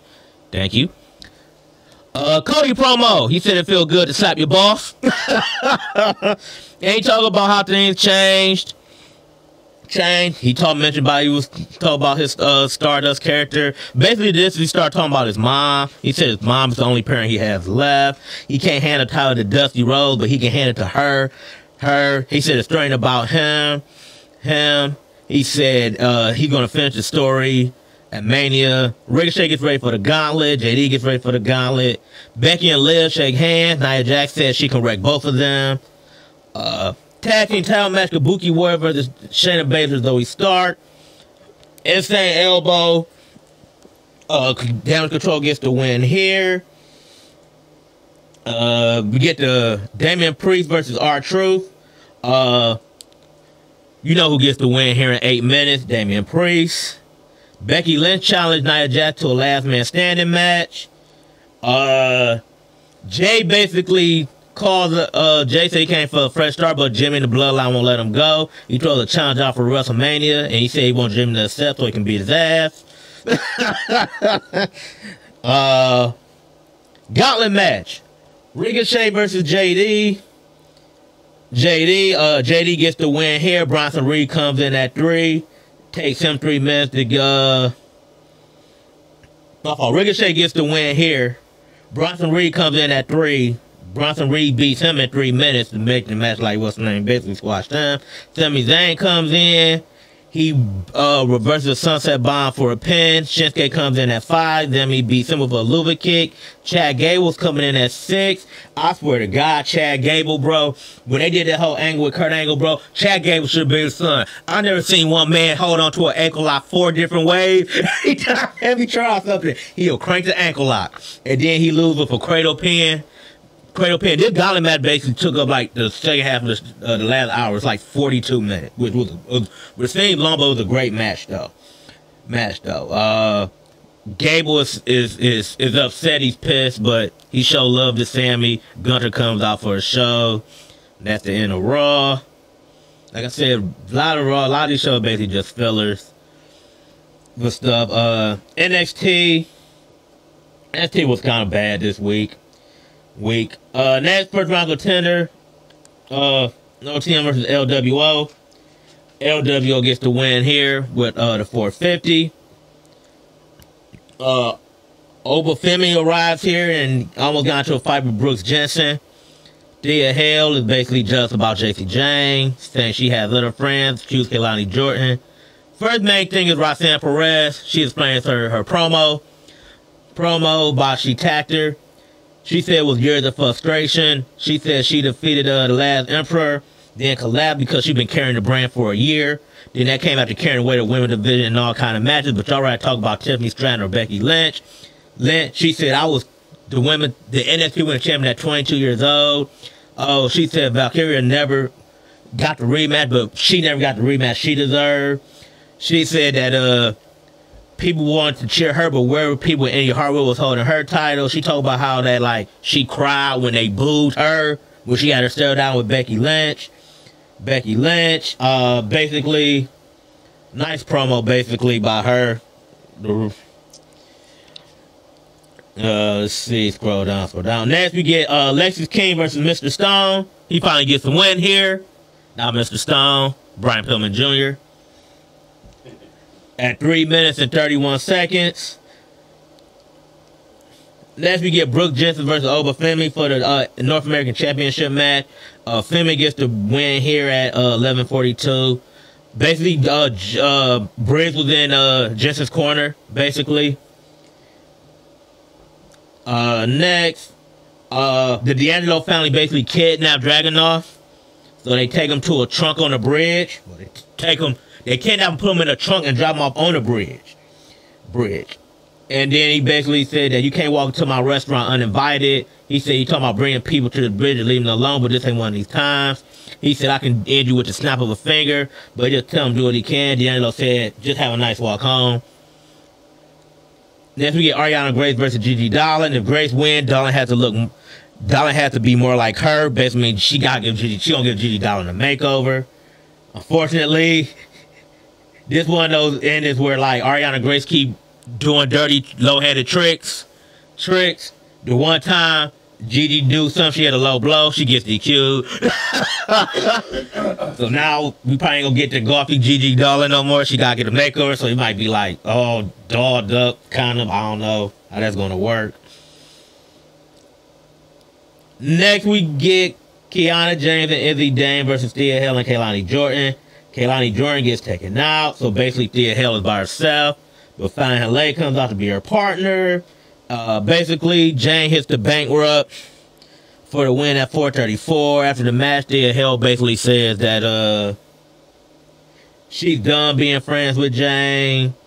Jayne, the old Thea Hail is back and she run around the ring to the Chase U Fight song. uh, Ridge Holland versus Shawn Spears. Shawn Spears get the win here after a C4 onto the chair. In 10 minutes. Trick Williams comes out here. Basically, he said he wanted to shout Mike off because he wanted to be at Hayes' level. He said he didn't know that this trick was going to come out. He said he's been lying for a long time. Now they're gonna have a match at Stand and Deliver. Meta-Four comes out here, Darn with Noam Dar. Williams tell him to stay out of this, but Darn said he's saying they both lost something. I need to steal your heat. Williams said Lash Legend need to know that Williams has heat too. He basically macking on her.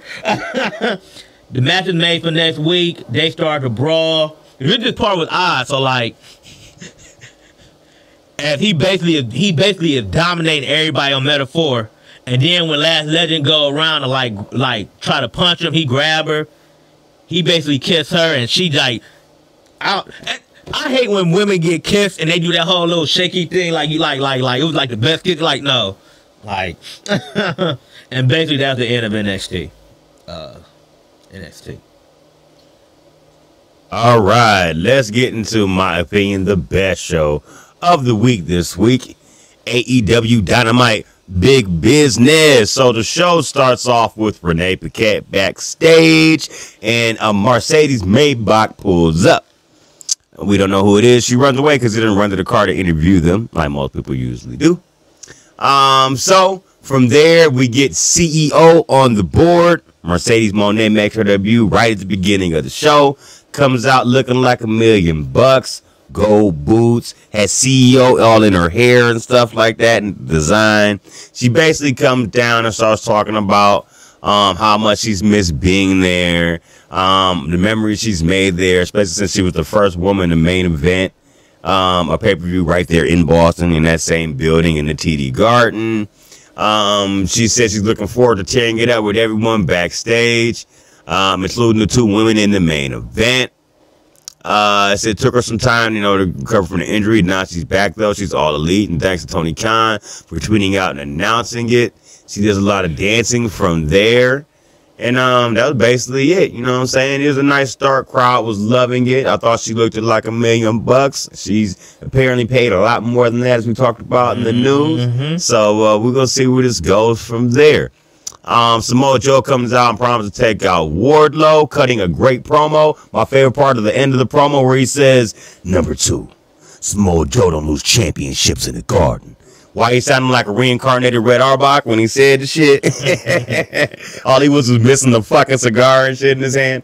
Um, Uh, I thought this was good, but for how the match turned out, I didn't think the match was that good. Uh, it didn't matter any. But I like the next promo part where Adam Cole basically was reading a story out of a book about how Wardlow had been cast aside from his time with MJF and how he's trying to rebuild himself to be a world champion and do the proper thing and hand him the title when he's done. And the story, basically. He told us while sitting in a chair reading it like it was a book. Um, AEW World Title match next. Samoa Joe taking on Wardlow. Wardlow still has not recovered from these incidents that Adam Cole was talking about in the book, basically where he fell off and stuff like that. Or the company didn't have as much shine on him, yo, I would say. Uh, there's a point in the match where Joe hit the no spot. So uh, Wardlow noticed it, faked it, still hit him with a uh, like a corkscrew uh, almost like a whisper in the wind, but a big man doing the shit off the second rope in the Samoa Joe. He also faked the knee in order to um, set him up to take more damage at one point, um, scraping at the eyes. He went for that big knee off the top rope thing, which is put down everybody else he's hit. Samoa Joe's been the first one to tap out of it. Excuse me, tap out of it, excuse me, to to kick out of it. Um, from there, uh, basically, Joe catches him in the coquina cut and taps him out 11 minutes and 4 seconds to retain his championship after avoiding a powerbomb symphony. Post match, uh, Swerve comes down, taking out all type of security with a chain wrapped around his hand. Uh, can't get his hands on JoJo Bill before that can happen. And as he's leaving, decides to kick one of the security off the side of the stage at the same time as he's leaving. So I thought that was pretty funny. Also, uh, the leader up backstage next uh, with Alex Marvez, and they're asking about um, the situation with Pac and Eddie and uh, Penta uh, Zero Miedo. I like that uh, Nicholas is like, hey, don't you disrespect him like that. Use his full given name that's on his passport. The Rainmaker, Kazuchika Okada. Oh, the Rainmaker's on his path. He made him say the whole shit. So then Okada's like, hey, do you know today is Nicholas's birthday? You tell Nicholas happy birthday. So Alex Marvez is like, oh, you know, happy birthday, Nicholas. He said, no, sing it. So they go to break and he starts singing it. Just emasculating him. So that was funny. I love how they've used Okada so far. We get to see Okada's Yeah. funny bone, so that's cool. Um, the Elite next take on Eddie Kingston, Penta, Zero, Miedo, and Pac.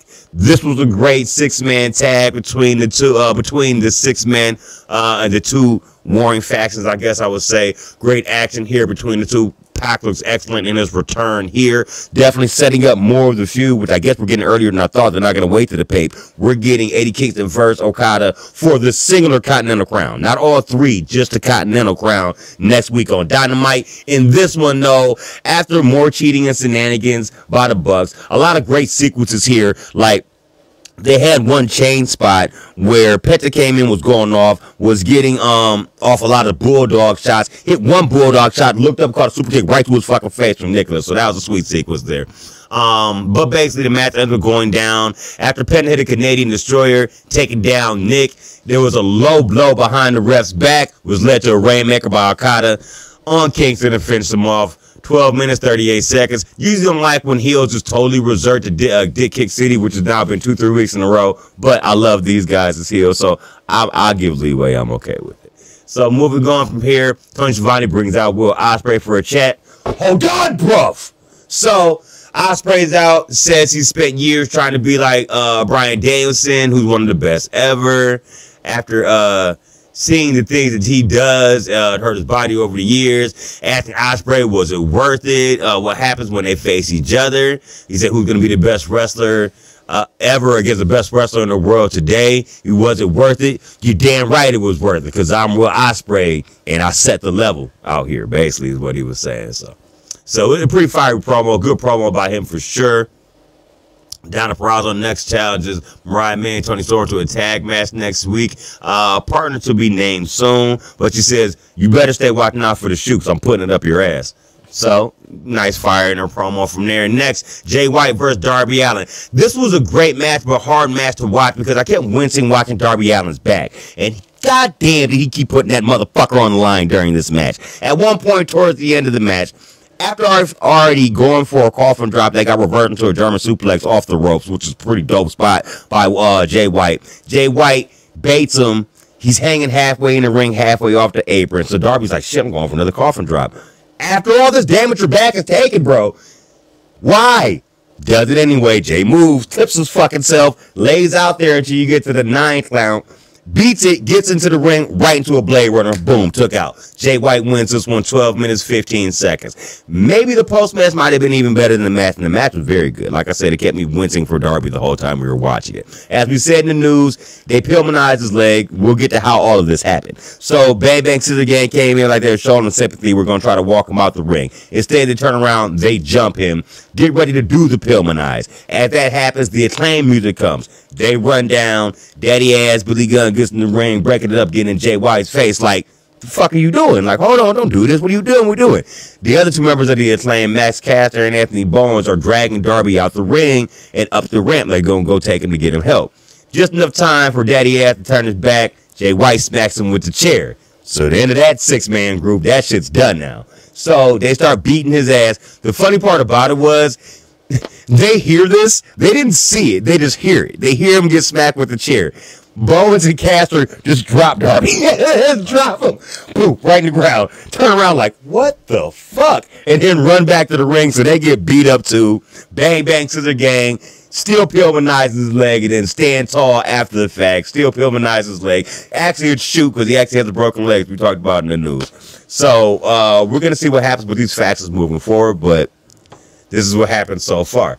Um, next up from here, we get Hook and Chris Jericho versus the Gates of Agony. This was a bad match. It wasn't a bad match for the participants. It's just that a lot of stuff, as we've been saying recently, that Jericho's been involved with hasn't been that good. Uh, Hook took on the bulk of this match, and he looked pretty good, I would say, hitting off many Northern Lights suplexes and Germans during the match. Eventually, this one came down to a red one walls combination put on Bishop Kaun. Getting hit with two finisher submissions. You can't kick out of that. He went that day. He ends up tapping 8 minutes 43 seconds. Next up, Kyle O'Reilly's backstage. He's talking about how banged up he's been and how he's healed up, but the injuries were to the point where he couldn't even pick up his own baby. So he was extremely messed up. Glad to see him back in the ring. Since he's been looking at the great roster AEW he's been having, and he says next week in Collision he'll be ready to take on Bryan Keith as he's preparing to, you know, end his promo here. Go! The Undisputed Kingdom walk in, um, just saying they're cool when he has to fight on his own, just giving him some props. And as he's walking off, he's kind of lamenting the situation in his head, like, yeah, now I'm on my own. Next up, this is something I wish they would do more in AEW that WWE used to do a lot back in the day, and they kind of still do too. Say there's a world title match on Raw. Do you ever notice where they'll show the participants of the match like warming up in their whatever spots that they're in, no matter be men or women, prior to the match starting? AEW did that this week with Riho. Also lending to the fact that uh, Miss Moné was there because she stepped in to wish her good luck on her upcoming main event match against Willow Nightingale. And you already know the history between um, the CEO and Willow Nightingale. Our main event is Riho versus Willow Nightingale. So we can't play our favorite game this week because Ladies Act got number one. No, they got the main event. And they got time. Nine minutes, 28 seconds in this match. It was a pretty good match. Was basically was putting Riho's speed against Willow Nightingale's power.